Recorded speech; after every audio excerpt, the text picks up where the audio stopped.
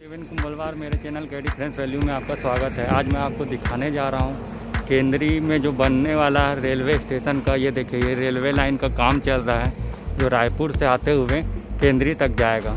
आप मेरे वीडियो को लास्ट तक देखिएगा, मैं बताऊँगा अभी कहाँ कहाँ पर काम चल रहा है।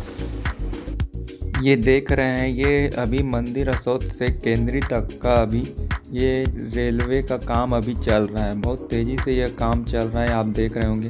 ये अभी देखिए, ये मैं खड़ा हूँ, ये ओवर ब्रिज के ऊपर खड़ा हूँ। देखिए, नीचे से रोड गई है, ये न्यू रायपुर का रोड है।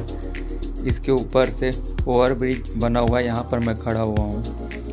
यहाँ पर देख सकते हैं, पूरा मुरुम मुरुम का काम, पूरा कंप्लीट हो चुका है।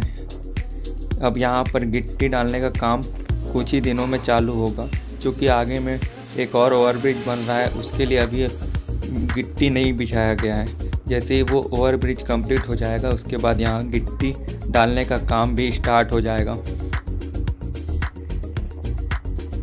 अभी रेलवे का काम बहुत तेज़ी से चल रहा है। आप देख सकते हैं यहाँ पर ये गाड़ियाँ पूरी खड़ी हुई लगी हुई है। यहाँ पर ओवरब्रिज का जो मैंने कहा था कि आगे काम चल रहा है, इसी की बात मैं कर रहा था। यहाँ पर आप देख सकते हैं कि ये ओवरब्रिज का काम अभी चल रहा है।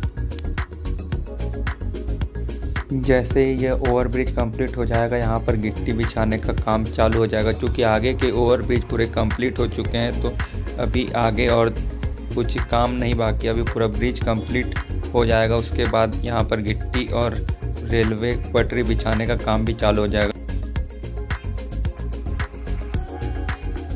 जैसे कि आप देख रहे हैं, यहाँ पर ब्रिज में शटरिंग का काम कर, चल रहा है।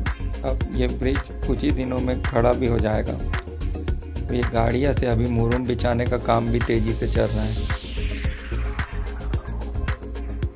वैसे तो ये 11 किलोमीटर लंबी परियोजना है। यह केंद्रीय तक जाएगा, जो कि मंदिर अशोक से केंद्री तक जाएगा। और ये आप देख रहे हैं, यहाँ पर रेलवे स्टेशन बनने वाला जो कि मुक्तांगन के आसपास है।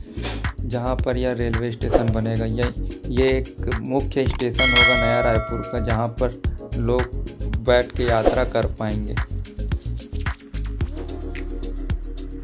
आपको यह वीडियो अच्छी लगी तो मेरे चैनल को सब्सक्राइब कीजिए और लाइक एंड शेयर करना ना भूलें।